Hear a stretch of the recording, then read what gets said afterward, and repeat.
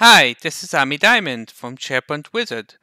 In this episode, I'd like to show you, um, have you ever noticed that in when you create a Microsoft Teams, you have on the left navigation a notebook. So this is actually OneNote that is integrated in the Teams site. By default, you can create a OneNote which is stored in OneDrive. Here it's integrated in the Teams site. So if we go in here, actually you can create your your sections and pages. This is uh, something you know. But the question is, where is it stored? So my first guess was it's probably stored in the documents, document library. So if I look here and look for this, actually it brings me back to the home page. So let's check the documents, documents library. No, there's nothing here. So after some uh, investigation, actually, if I go to the gear icon and which is the settings and I actually go to site content, I will see a library, a system library, which is called site assets.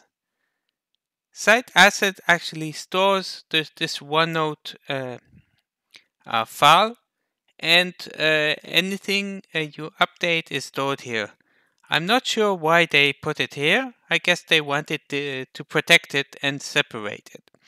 But so now we know where is it stored.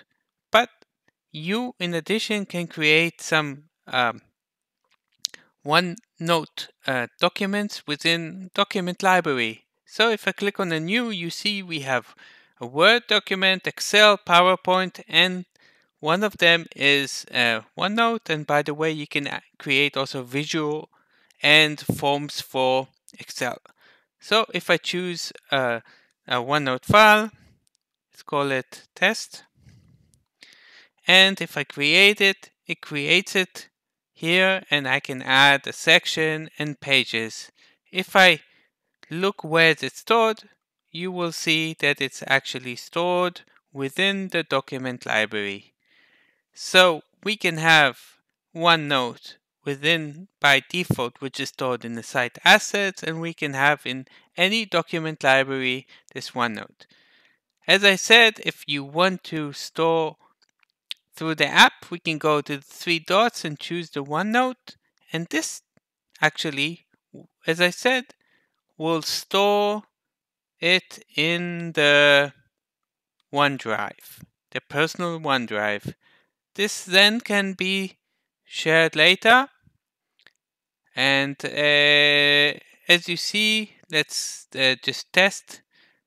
So it, if I, it's now opening this SSS.